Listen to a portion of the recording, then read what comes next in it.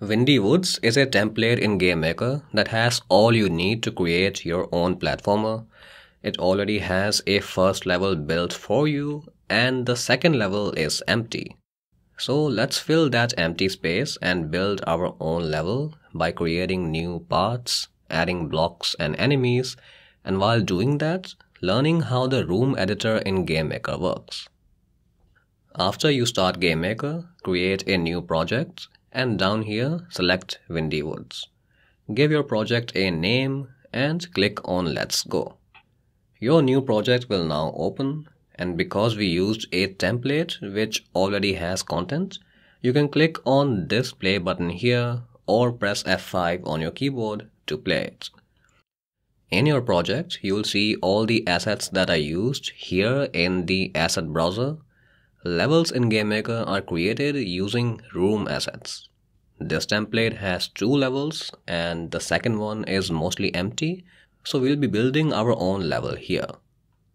Now when you run the game, you have to play through the first level to get to the second one, and that's gonna result in slow testing when you want to run the game and test the second level that you've built. So let's make it so the second level opens first whenever you run this game. In your asset browser, click on this space next to any room. This will open the room order menu. Here drag the RM level 2 room and put it above RM level 1. Now whenever you play your game, the second level will open first. Now double click on RM level 2 and let's start creating our level. You edit your level in the room editor using GameMaker's layer system. There are layers for various things with different names, but basically the icon tells you what kind of layer it is. For example, this is an instance layer which has all the objects in your game like the player, coins and enemies and this is a tile layer containing all of the ground tiles that the player stands on. Now this particular instance layer already has some message instances that are displayed in game which we don't need. So right click on this layer and delete it. Let's now carve a path for our player. Select the collision tiles layer, which is the layer that contains the ground tiles. You will see that on the right hand side of your GameMaker window, a new menu has opened up.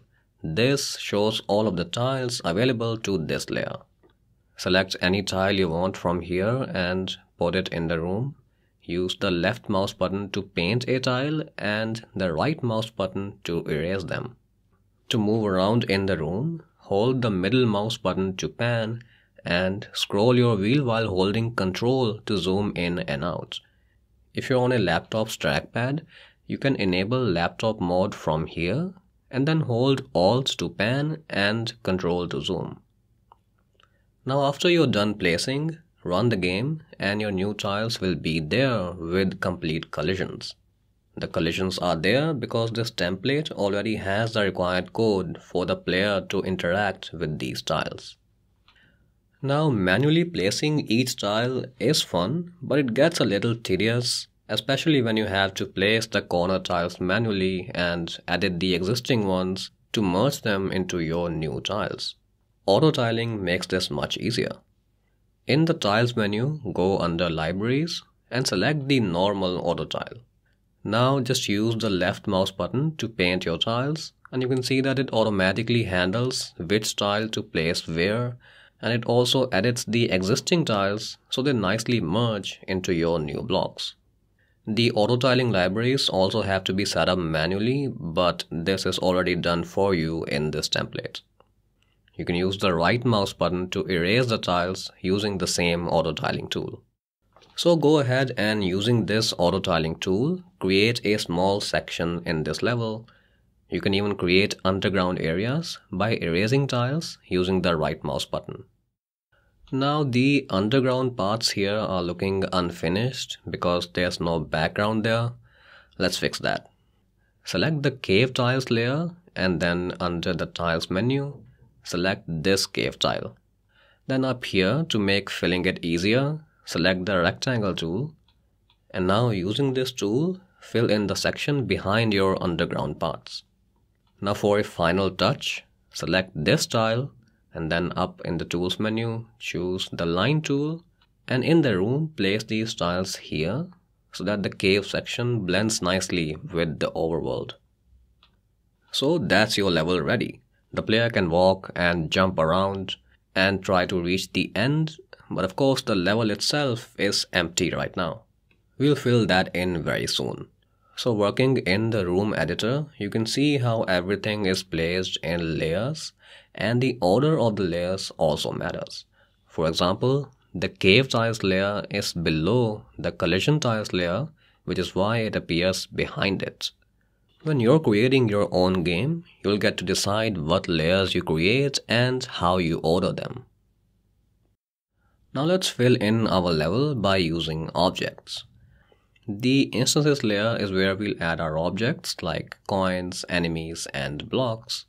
Then in your asset browser, open the objects group and here you'll find a bunch of objects that can be placed in this instance layer. For example, I'll go into environment, items and select obj coin, drag and drop this into your room and there you have a new coin in your level. There is a simpler way if you want to place multiple coins at once.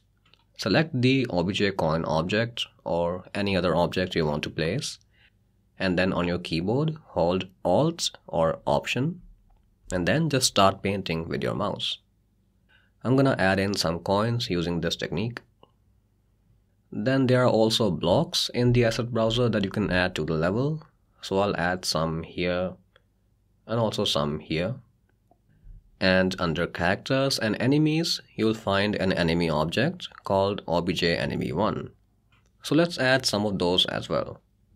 Now run the game and there are your new instances. The level really feels much more alive now. If you followed any of the other Windy Woods tutorials and added a jumping enemy, checkpoints or jump through platforms, you can go ahead and add them to this level.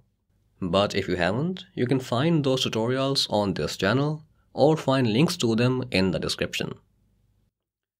This end gate layer contains only one instance which is this end gate where you finish the level. So if you make your level longer, you can simply move this instance and place it where you want the level to end. And if you think that this room is too large or too small, you can always resize it in the room settings down here.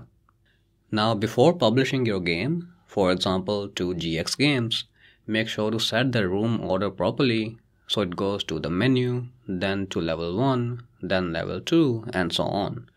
And if you want to add a third level, just duplicate your second room and change it up.